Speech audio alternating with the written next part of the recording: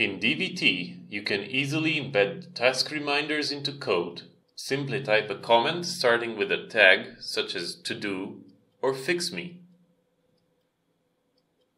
The tag is automatically recognized and highlighted. The editor overview ruler allows quick navigation of the tasks in a file. All tasks are presented in the Tasks view. Tasks are assigned different priorities depending on the tag, high for FIXME, medium for TODO, or low for hint. You can define custom tags, for example to track certain activities or identify tasks assigned to a user.